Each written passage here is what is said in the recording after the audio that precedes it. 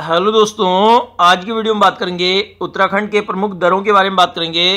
तो तीन दरें हैं उत्तराखंड के, और इसे याद करने की हमारे पास ट्रिक है मालिनी। मालिनी शब्द आपको याद करना है तो माँ से बन जाएगा, माना दरा, ली से बन जाएगा, लीपू लेक दरा, और नी से बन जाएगा, नीति दरा।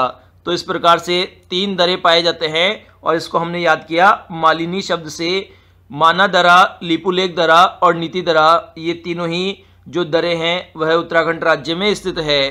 तो आशा करता हूँ, ये ट्रिक आपको पसंद आई होगी। अगर वीडियो पसंद आया है तो प्लीज़ चैनल को सब्सक्राइब कीजिए और इस वीडियो को अपने सभी दोस्तों के साथ शेयर भी कर दीजिए। तो आज के लिए दोस्तों इतना ही।